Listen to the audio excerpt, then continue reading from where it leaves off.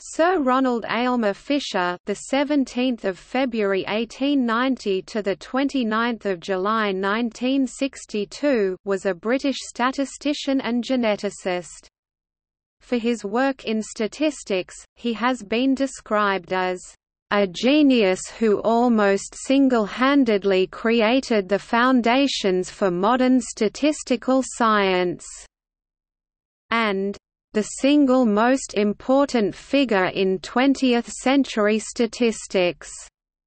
In genetics, his work used mathematics to combine Mendelian genetics and natural selection. This contributed to the revival of Darwinism in the early 20th century revision of the theory of evolution known as the modern synthesis. For his contributions to biology, Fisher has been called the greatest of Darwin's successors. From 1919 onward, he worked at the Rothamsted Experimental Station for 14 years. There, he analyzed its immense data from crop experiments since the 1840s, and developed the analysis of variance ANOVA. He established his reputation there in the following years as a biostatistician. He is known as one of the three principal founders of population genetics. He outlined Fisher's principle, the Fisherian runaway and sexy son hypothesis theories of sexual selection. His contributions to statistics include the maximum likelihood, fiducial inference, the derivation of various sampling distributions, founding principles of the design of experiments, and much more. Fisher held strong views on race. Throughout his life, he was a prominent supporter of eugenics, an interest which led to his work on statistics and genetics. Notably, he was a dissenting voice in UNESCO's statement The Race Question, insisting on racial differences. Topic early life and education Fisher was born in East Finchley in London, England, into a middle-class household. His father, George, was a successful partner in Robinson and Fisher, auctioneers and fine art dealers. He was one of twins, with the other twin being stillborn and grew up the youngest, with three sisters and one brother. From 1896 until 1904 they lived at Inverforth House in London, where English Heritage installed a blue plaque in 2002, before moving to Streatham. His mother, Kate, died from acute peritonitis when he was 14, and his father lost his business 18 months later. Lifelong poor eyesight caused his rejection by the British Army for World War I, but also developed his ability to visualize problems in geometrical terms, not in writing mathematical solutions, or proofs. He entered Harrow School age 14 and won the school's Neild Medal in mathematics. In 1909, he won a scholarship to study mathematics at Gonville and Caius College, Cambridge. In 1912, he gained a first in astronomy. In 1915 he published a paper The Evolution of Sexual Preference on Sexual Selection and Mate Choice.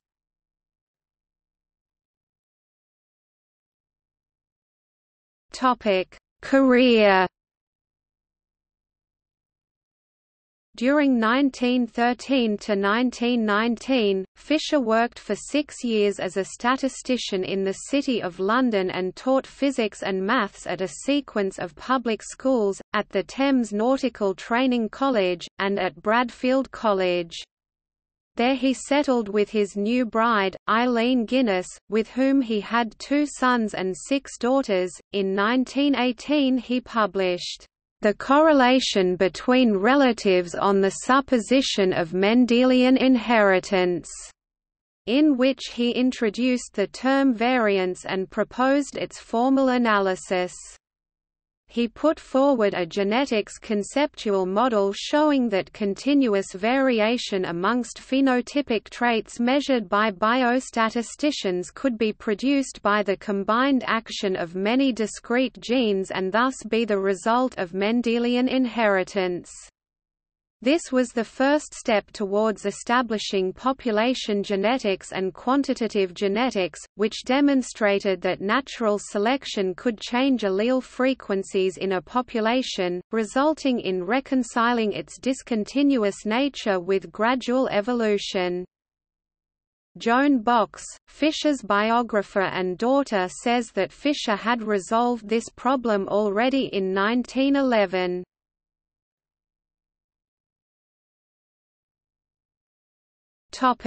Rothamsted Experimental Station, 1919 to 1933. In 1919, he began working at the Rothamsted Experimental Station for 14 years, where he analyzed its immense data from crop experiments since the 1840s, and developed the analysis of variance ANOVA. In 1919, he was offered a position at the Galton Laboratory in University College London led by Karl Pearson, but instead accepted a temporary job at Rothamsted in Harpenden to investigate the possibility of analysing the vast amount of crop data accumulated since 1842 from the classical field experiments he analyzed the data recorded over many years and in 1921, published studies in crop variation, and his first application of the analysis of variance ANOVA. In 1928, Joseph Oscar Irwin began a three-year stint at Rothamsted and became one of the first people to master Fisher's innovations. Between 1912 and 1922 Fisher recommended, analyzed with flawed attempts at proofs and vastly popularized maximum likelihood. Fisher's 1924 article on a distribution yielding the error functions of several well-known statistics presented Pearson's chi-squared test and William Gosset's student's t-distribution in the same framework as the Gaussian distribution and is where he developed Fisher's z-distribution a new statistical method, commonly used decades later as the f-distribution. He pioneered the principles of the design of experiments and the statistics of small samples and the analysis of real data. In 1925 he published Statistical Methods for Research Workers, one of the 20th century's most influential books on statistical methods. Fisher's method is a technique for data fusion or meta-analysis Analysis of analyses. This book also popularized the p-value, and plays a central role in his approach. Fisher proposes the level p equals 0.05, or a 1 in 20 chance of being exceeded by chance, as a limit for statistical significance, and applies this to a normal distribution as a two-tailed test, thus yielding the rule of two standard deviations on a normal distribution for statistical significance.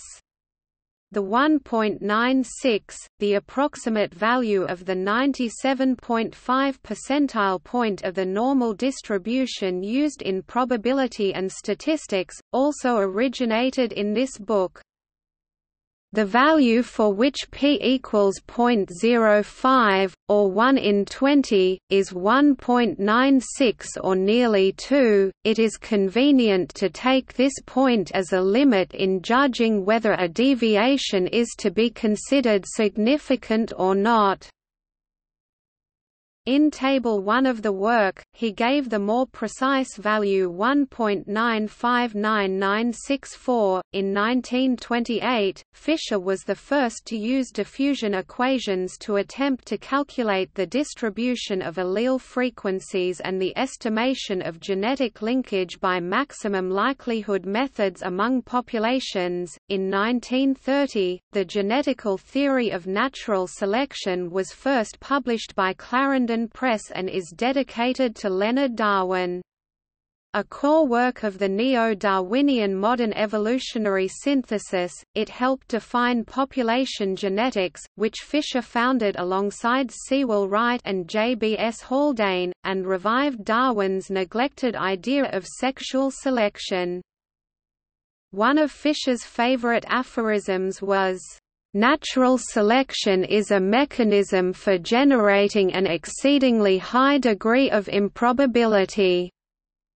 Fisher's fame grew and he began to travel and lecture widely.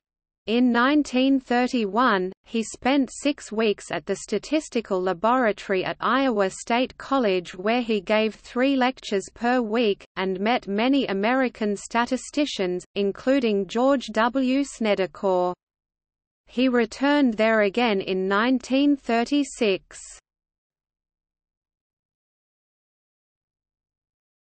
Topic: University College London 1933 to 39. In 1933, Fisher became the head of the Department of Eugenics at University College London. In 1935, he published The Design of Experiments, which was also fundamental, and promoted statistical technique and application. The mathematical justification of the methods was not stressed and proofs were often barely sketched or omitted altogether. This led H.B.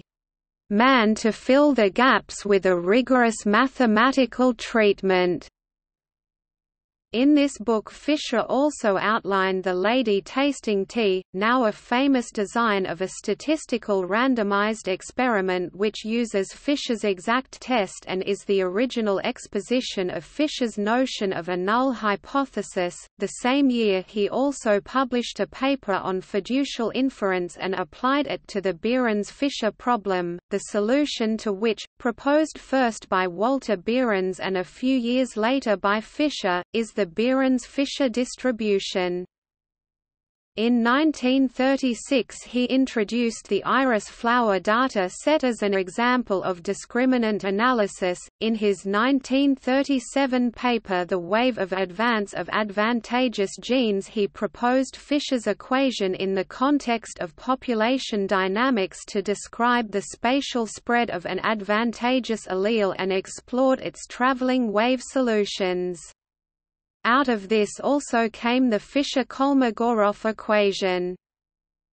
In 1937, he visited the Indian Statistical Institute in Calcutta, and its one part-time employee, P. C. Mahalanobis, often returning to encourage its development.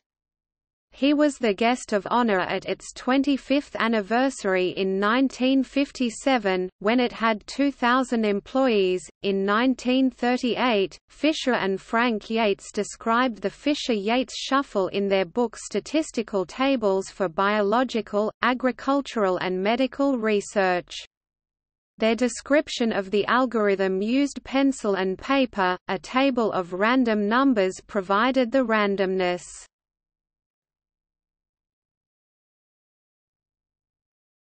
Topic: University of Cambridge 1940 to 1956. In 1943, along with A.S. Corbett and C.B. Williams he published a paper on relative species abundance where he developed the logseries to fit two different abundance data sets in the same year he took the Balfour Chair of Genetics where the Italian researcher Luigi Luca Cavalli Sforza was recruited in 1948, establishing a one-man unit of bacterial genetics. In 1936, Fisher used a Pearson's chi-squared test to analyze Mendel's data and concluded that Mendel's results with the predicted ratios were far too perfect, suggesting that adjustments intentional or unconscious had been made to the data to make the observations fit the hypothesis. Later authors have claimed Fisher's analysis was flawed, proposing various statistical and botanical explanations for Mendel's numbers. In 1947, Fisher co-founded the journal Heredity with Cyril Darlington and in 1949 he published The Theory of Inbreeding. In 1950 he published gene frequencies in a cline determined by selection and diffusion. On the wave of advance of advantageous genes and on clines of gene frequency, being notable as the first application of a computer, the EDSAC, to biology. He developed computational algorithms for analyzing data from his balanced experimental designs, with various additions and translations, becoming a standard reference work for scientists in many disciplines. In ecological genetics he and E. B. Ford showed how the force of natural selection was much stronger than had been assumed, with many ecogenetic situations such as polymorphism being maintained by the force of selection.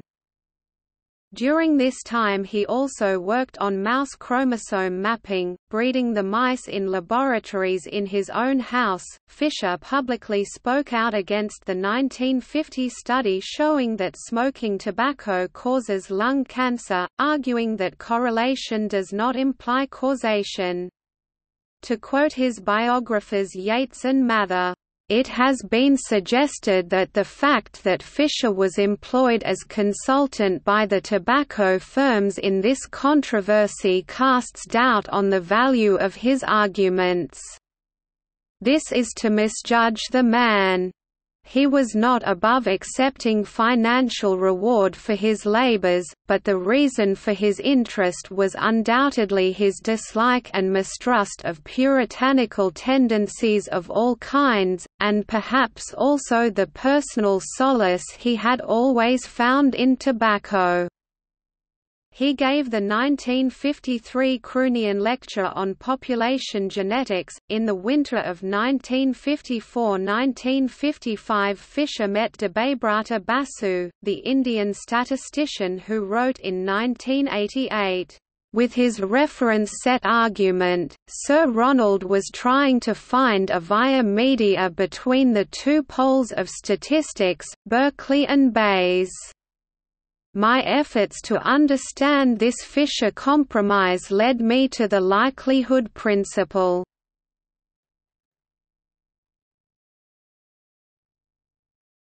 Topic: Adelaide, 1957 to 1962. In 1957, a retired Fisher emigrated to Australia, where he spent time as a senior research fellow at the Australian Commonwealth Scientific and Industrial Research Organisation in Adelaide. He died there in 1962, and his remains were interred within St Peter's Cathedral, Adelaide.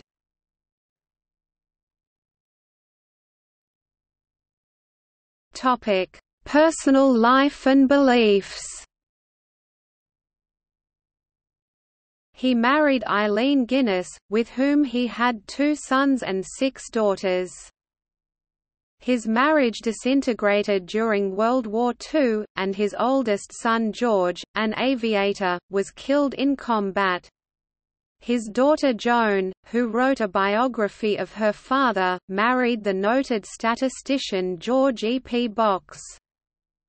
According to Yates and Mather, his large family, in particular, reared in conditions of great financial stringency, was a personal expression of his genetic and evolutionary convictions.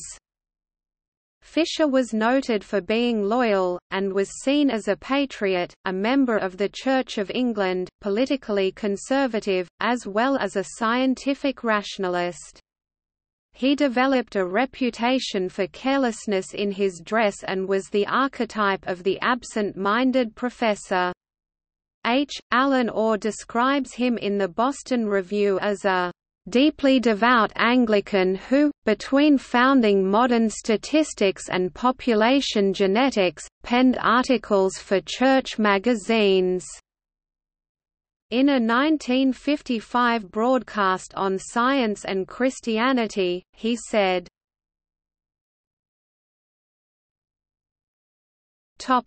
Parapsychology Fisher was involved with the Society for Psychical Research.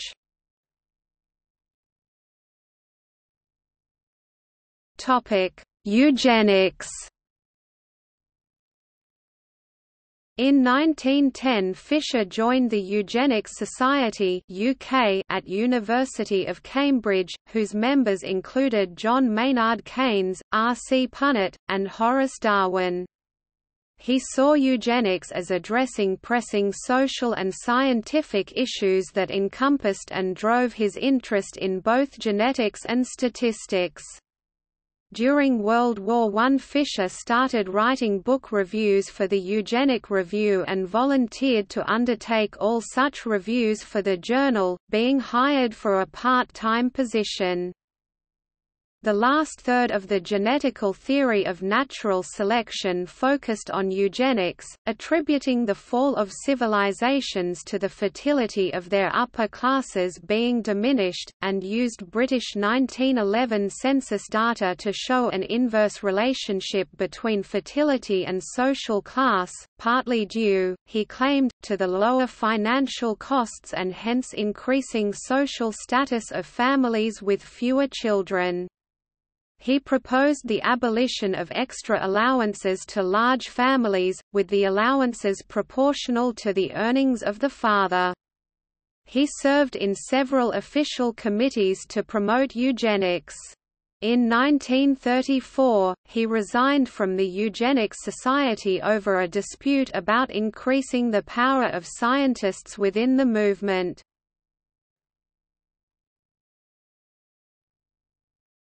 Topic: Race.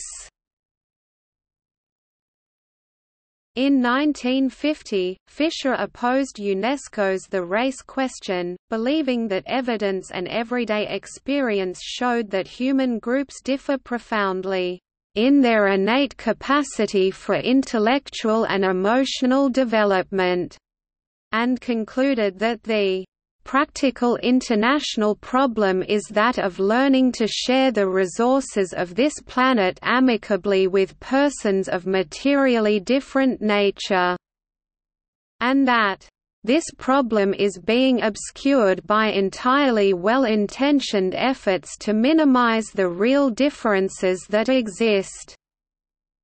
The revised statement titled, The Race Concept, Results of an Inquiry 1951 was accompanied by Fisher's dissenting commentary.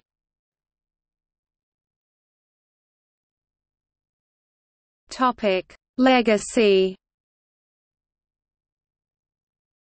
Fisher's former doctoral students include Walter Bodmer, D. J. Finney, Mary F. Lyon and C. R. Rao Although a prominent opponent of Bayesian statistics, Fisher was the first to use the term Bayesian in 1950. The 1930 The genetical theory of natural selection is commonly cited in biology books, and outlines many important concepts, such as parental investment, is any parental expenditure time, energy etc. that benefits one offspring at a cost to parents' ability to invest in other components of fitness.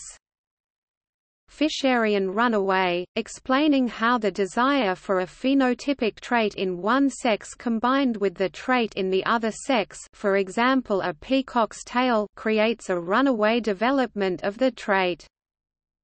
Fisher's principle, which explains why the sex ratio is mostly one to one in nature reproductive value which implies that sexually reproductive value measures the contribution of an individual of a given age to the future growth of the population. Fisher's fundamental theorem of natural selection, which states that the rate of increase in fitness of any organism at any time is equal to its genetic variance in fitness at that time. Fisher's geometric model, an evolutionary model of the effect sizes on fitness of spontaneous mutations proposed by Fisher to explain the distribution of effects of mutations that could contribute to adaptive evolution. Sexy son hypothesis, which hypothesizes that females may choose arbitrarily attractive male mates simply because they are attractive, thus increasing the attractiveness of their sons who attract more mates of their own. This is in contrast to theories of female mate choice based on the assumption that females choose attractive males because the attractive traits are markers of male fitness. Mimicry, a similarity of one species to another that protects one or both Dominance, a relationship between alleles of one gene, in which the effect on phenotype of one allele masks the contribution of a second allele at the same locus. Heterozygote advantage which was later found to play a frequent role in genetic polymorphism demonstrating that the probability of a mutation increasing the fitness of an organism decreases proportionately with the magnitude of the mutation and that larger populations carry more variation so that they have a greater chance of survival. Fisher is also known for Linear discriminant analysis is a generalization of Fisher's linear discriminant, Fisher information, see also scoring algorithm also known as Fisher's scoring, and minimum Fisher information, a variational principle which, when applied with the proper constraints needed to reproduce empirically known expectation values, determines the best probability distribution that characterizes the system.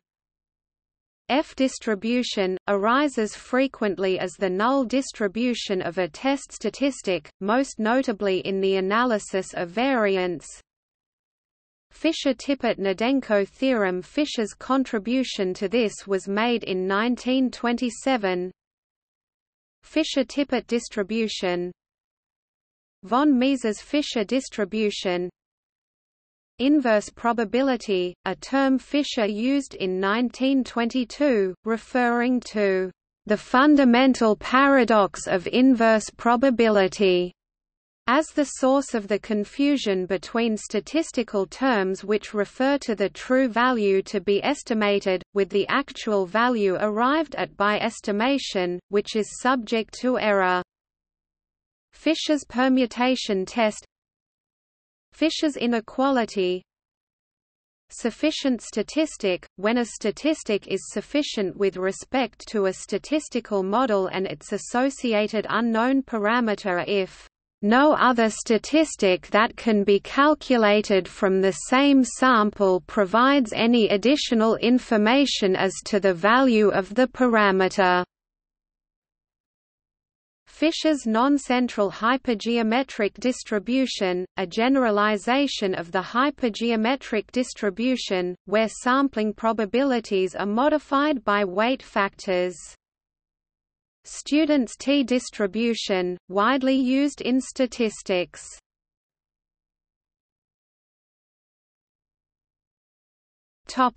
Recognition Fisher was elected to the Royal Society in 1929. He was made a Knight Bachelor by Queen Elizabeth II in 1952 and awarded the Linnean Society of London Darwin Wallace Medal in 1958. He won Copley Medal and the Royal Medal. He was an invited speaker of the ICM in 1924 in Toronto and in 1928 in Bologna. In 1950, Maurice Wilkes and David Wheeler used the electronic delay storage automatic calculator to solve a differential equation relating to gene frequencies in a paper by Ronald Fisher. This represents the first use of a computer for a problem in the field of biology. The Kent distribution also known as the Fisher-Bingham distribution was named after him and Christopher Bingham in 1982 while Fisher kernel was named after Fisher in 1998. The R. A. Fisher Lectureship is a North American annual lecture prize, established in 1963. On 28 April 1998 a minor planet, 21451 Fisher, was named after him. Anders Hald called Fisher, "...a genius who almost single-handedly created the foundations for modern statistical science." While Richard Dawkins named him, "...the greatest biologist since Darwin." Not only was he the most original and constructive of the architects of the neo-Darwinian synthesis, Fisher also was the father of modern statistics and experimental design. He therefore could be said to have provided researchers in biology and medicine with their most important research tools, as well as with the modern version of biology's central theorem. Geoffrey Miller said of him, to biologists, he was an architect of the modern synthesis that used mathematical models to integrate Mendelian genetics with Darwin's selection theories. To psychologists, Fisher was the inventor of various statistical tests that are still supposed to be used whenever possible in psychology journals. To farmers, Fisher was the founder of experimental agricultural research, saving millions from starvation through rational crop breeding programs. Bibliography